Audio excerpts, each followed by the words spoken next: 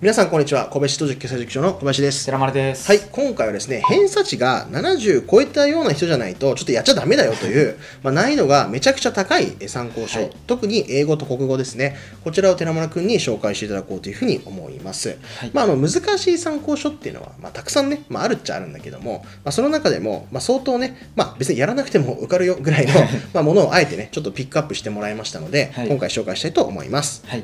まあ、皆さん難しい参考書って言われると、まあ、今回英語と国語について紹介していこうと思うんですけど、まあ、例えば鉄壁とかポレポレとか思い浮かべる方が多いと思うんですけど、まあ、あれって難易度的には多分偏差値そうです60以上とかで難関大向けの人がやるっていうイメージがあると思うんですけど、まあ、今回はさらにそこからあんまり知られてないんだけどそれよりもさらに難しいっていう問題集を、えー4冊、持ってきましたので紹介していきたいというふうに思います。で、まあ、今回紹介する参考書っていうのはまあ、正直、まあ、先ほど小林さんも言ったように受験で合格する上で必須かって言われるとそうでもないっていうものもあるんですけど、まあ、ただある程度早い段階から勉強に取り組んで時間的に余裕がある方だったりああるいは浪人で問題集で演習量を積んでいきたい。で偏差値80を目指したい。みたいなような人には、まあ、ぜひ取り組むといいんじゃないかなという参考書になってくるので、まあ、今回4冊紹介していきたいというふうに思います。はい、偏差値は、まあ、河合塾でって感じですか？そうですね。はい、まあ、ちょっとね、もうちょっと簡単な模試だとすぐ70とか そうですね。はい。まあ、河合塾ぐらいでも70超えたような人がやってくれということですですはい。じゃあまず英語からいきましょう。はい、英語1冊目はまず英文標準問題成功になります。あ。はい。まあ、こちら、欧文社から出ている英文解釈の参考書になるんですが、まあ、例題と練習問題合わせて220題あって、かなり高いレベルで演習量も多く確保できるという参考書になってきます。で、まあ、今回参考書のまあ難しい鬼ポイントということで紹介していこうと思うんですが、うんまずまあこの参考書の鬼ポイントとしては、えー英文の難しさと解説の難しさにあるかなというふうに思ってます。はいえまず英文についてなんですけど、まあ、レベル的には大学入試では最も難しい部類に入ると思っていて、まあ、そうですねポレポレだったり糖質の中でもやや難しい英文が220台揃ってるかなっていう印象がありますで、まあ、次に解説についてなんですけど、まあ、最近の参考書って結構解説がちゃんと詳しくなっていて SVOC 全部振られてるっていう風にのが多いと思うんですけど、まあ、この参考書はまちょっと古いっていうのもあって SVOC 全部振られてるっていうような参考書ではありません、まあ、基礎問題成功なんかやってる方はイメージつくと思うんですけど構文がメインになっていてえーそうですね。重要な文法要素だけ紹介されていてあとは日本語訳で自分で SVOC を確認する必要があるということになるので、まあ、ある程度もう日本語訳を見て自分で英語で構文が把握できるという人じゃないと取り組むのが難しいかなというふうには思います、うん。まあ、ただし英文自体はこれ入試問題だけに限らず結構有名な本のなんか名言みたいなことも載ってたりして単純にやっていてすごく面白いものが多くて、まあ、あとは解説が簡素っていうのは学力が高い人にとっては、まあ、ポイントを押さえて分かりやすいということにもなると思うので、うんまあ、見た目よりはサクサクどんどん進んでいける参考書になるかなと思います。なるほどはいでまあ、次に対象者と使い方を紹介しようと思います。まあ対象者はそうです、ね、英文解釈クラシックだったりあのポレポレなんかを結構早い段階で終えちゃってより英文解釈の演習を積んでいきたいという人になるかなというふうに思います。まあ、特に兄弟をはじめとする難関公立志望の方にはおすすめになってきます。まあ、ただし英文解釈の後って長文だったり過去問ってまだまだやることがいっぱいあるので、まあ、それを考えると、まあ、ちゃんと自分の残り時間と考えてあ時間的に余裕のある人が使うものになるかなというふうには思います。はいはい僕はこれを生徒に勧めたことはないですね。そうですね。まあ、使ってる子はあの言いましたけど次はこれをやろうっていうふうに、うん。あの勧めたってことはあんまないかな。そうですね。うん。まあ、やっぱ長文もどっかの方がやっぱ最近の入試問題としてはこう出ることが多かったり、はい。配点とかも大きかったりするので、まあね、あのーこういう問題がどうしてもやれるようになりたいと志望校の傾向として必要だという人は取り組んでみてもいいんじゃないでしょうか。はい、それでは続きまして2冊目ですね、えートップグレード難関大突破英語長文問題聖戦を紹介したいと思います、こちら学研プラスさんから出ている長文問題集になるんですが、まあ、全部で15題の長文が掲載されていまして、えーそのほとんどが難関大東大だったり総計の問題となっています。で、まあ、解説は、まあ、あのコンパクトで、まあ、全ての文に SVOC が振られているっていうような形ではないんですが、まあ、コラムだったり結構豆知識的な部分も充実していて、まあ、ハイレベルな知識を得ることができる参考書になっています、はい。まあ、こちらの鬼ポイントに移ろうと思うんですが、まあ、こちらは全ての長文についている要約問題ということで、まあ、この長文問題集の一番の特徴だと思うんですが全ての長文に過去問が掲載されているのでそのいわゆる一般的な問題の下に、まあ、この問題集オリジナルの、えー日本語での要約問題と英語での要約問題っていうのがついています、まあ、こちらなので文章をもう全部しっかりと把握できてないと書けないということでこちらがとても難しいかなというふうに思います、なるほど。まあ、長文のレベルとしては、まあ、ポラリスの3だったりハイパートレーニングの3だったり、まあ、やっておきたい700あたりと近い難易度にはなってくるかなと思うんですが、まあ、ただこの要約問題があることを考えると長文問題集としてはトップレベルの難易度になるかなと思います、うん。なので対象者と使い方に関しましては、まあ、一番の対象者は実際に要約問題が出るあの東大を目指されている生徒さんだったりあとはまあ早稲田の文文化構想なんかも要約問題が出るので、まあ、こちらはお勧めできるかなと思います、まあ、ただ要約を通じて読解力を鍛えることができるという意味ではまあ、あのポラリス3レベルの長文問題集を終えて時間がある方には取り組んでもらってもいいのかなというふうに思います、うん。まあ、ただし先ほども言ったように問題の解説については結構簡潔にまとめられているので要約に関しては英語の要約もあるのである程度英作文なんかの基礎もついていないと、まあ、難しく感じるかなというふうに思います。そうですね。だ結構まあ要素もりもりな感じなんで。そうですね。そう結構だからまあ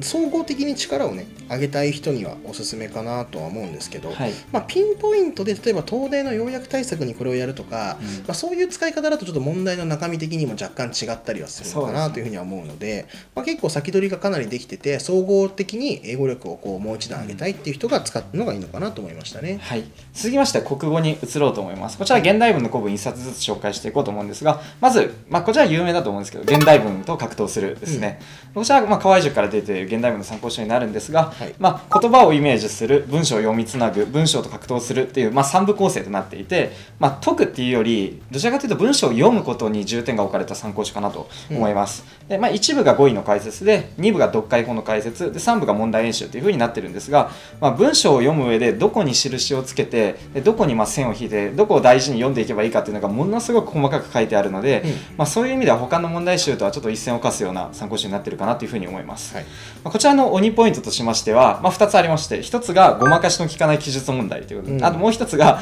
えー無限要約地獄ということであの、まあ、まず1つ目に関しては、まあ、問題のメインは基本、まあ、空想時の問題なんかも少しはあるんですけどほとんどが100字以上の記述問題になってます。なのでなんとなくで解くことがまあ許されない問題になっています、まあ、そもそも文章の難易度もものすごく高くて、まあ、しっかりと基礎力語彙なんかも身につけてないと太刀打ちできないような内容になっているので、まあ、とても難しいかなと思います。でまた2つ目のまあ無限要約地獄ということなんですが、まあまずこの参考書進め方が指示されているのでちょっとこれをご覧いただこうと思うんですがこちらですね、まあ、作業がやたら多いなと思うと思うんですが実はこれ、まあ、説問を解く前でこんだけやってくださいっていううん指示がされてます。まあ、これ主に各段落の要約とあとはその上で全体の要約をするっていうことなんですけど、まあ、これしっかり取り組もうとすると僕もこれやったんですけどやっぱ23時間かかるぐらいかなりボリュームが多くて、まあ、相当力のある人でも苦戦する問題になってるかなと思います、まあ、このようにテクニックなどは使わずに本当にひたすら要約をして記述問題を解くっていう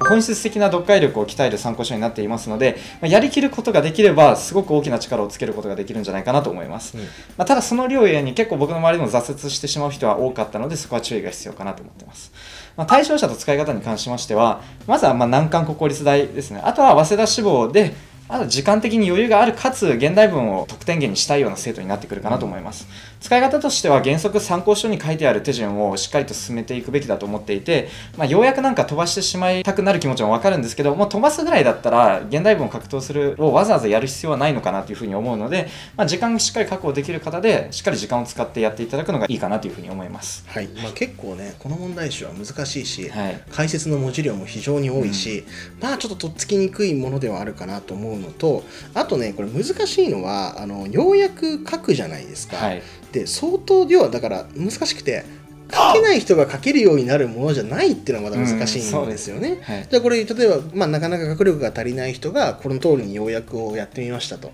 じゃあこれを通じてできるようになるかっていうと結構そうでもなくて、はい。あのやっぱりそこは誰かが見てあげたりしないとうん。できるようにならないレベルのことを結構要求している参考書だったりするので、はい。やっぱり相当得意な人とか、うん。時間的に余裕がある人が、まあ、使うのがよろしいかなとは思いますね。はい。ただ例えばわからないけどなんかめちゃくちゃいい指導者がいてその要約とか見てもらえる中でやれると、まあ、すごいこうやってることはむちゃくちゃね、こう現代文の本質的なことをやっているので、はい。い、いのでなんか指導者付きでこの格闘するが使えるんだったら、まあ、めちゃめちゃいいかなっていうふうには思いますし、めっちゃ推したいんだけど、はい。やっぱ一人で受験生がこれやりきるのようようちょっと僕はねあの言えないですよ。やれと。そうですね。僕もいやまあ結構浪人の時に現代文得意だったんですけどそれでも相当苦戦したのでね。かなり人は選ぶかなっていう感じはします。ですね、まあ、なので、まあよければえ見てみてください。はい。はい。次最後ですね、えー古文になります。古文解釈の方法という参考書を紹介したいと思います。こちら概要については、まあ、寸大から出ている古文の参考書になります。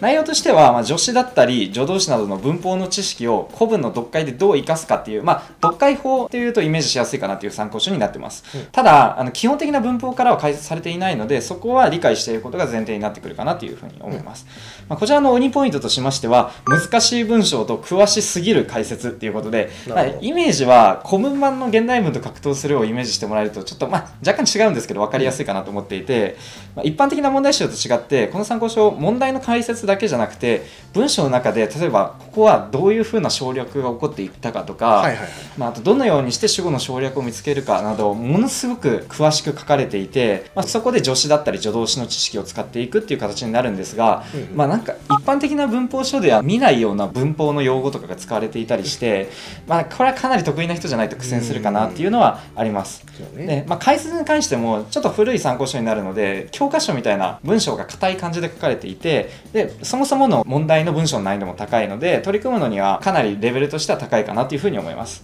で対象者の使い方に関しましては対象者は難関国公立大志望とあと早稲田志望でただ早稲田の中でも比較的古文が難しい学部に限っていいのかなというふうには思っています、で単語文法は頭に入れた前提であとは同じ先生が書いている古文解釈はじめの一歩っていう参考書だったり、あとはまあ基本的な読解のインプットの参考書だったりあとスタサプなんかをまああらかじめ見た上で読解の応用としてこちらを使っていただくのがいいかなというふうには思います、はい、そうですね。まあ、結構古文は参考書のまあバレそんな多くないので、そね。まあ、その一冊としてもあるけど、でも例えば早稲田受けたい人だったら、早稲田の国語とかからまずやったりするだろうし、はい。あとはね、河合塾からも、えー難関大対策、ん？難関大、えーなんとか対策古文みたいな、まあ、あるんで、そういう本とかね、まあ、そういうのを使ってもらってもいいかなと思うので、まあ、なかなかちょっとここまで手が伸びる人はいないかもしれませんが、ね。はい、まあ、おすすめの一冊ということでございました。はい。はい、というわけで今回はですね英語と国語に関して、まあ、偏差値70ぐらいの人がぜひやってくれというか、まあ、そのぐらいの人がやっと検討してやるかどうかというかなり鬼レベルの参考書を紹介させていただきました。がいかがだったでしょうか、はい。まあ、他にもねえーうちのチャンネルいろいろ参考書を紹介していきたいと思いますのでもしリクエストとかあればコメント欄にコメントください。というわけで本日の動画は以上です。最後までご視聴いただきましてありがとうございました。ありがとうございました。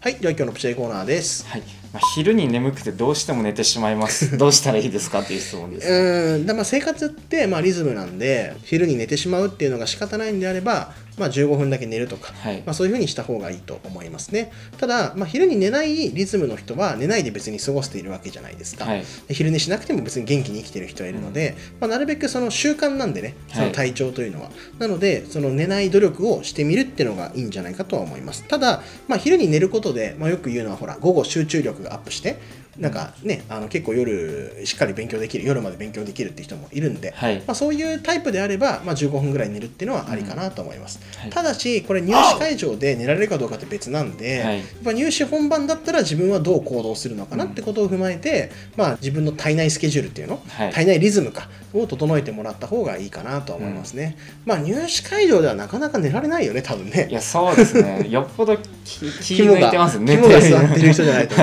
はい。寝られないと思うから、はいであれば本番寝られないんだったら、まあ、今寝ちゃうのはどうなのかなとは思うし、はい。まあ絶対に例えばじゃあ秋からは寝ないように生活リズムを変えるんだったらじゃあ今は15分だけ夏休み中ぐらいはじゃあちょっと昼寝しようかなとか、まあ、そういうのはあるかもしれません、はい。まあ、ただ普通にあの寝てるとあの起こされる場合多分塾とかだとあると思うんですよ。ね。なのでそうするとあのあの睡眠が妨害されて、はい。嫌な気持ちになってフラストレーションだけ溜まるってケースもあるんで、はい。まあ、その辺をよく気をつけて生活リズムを作っていってください。というわけで本日の話は以上です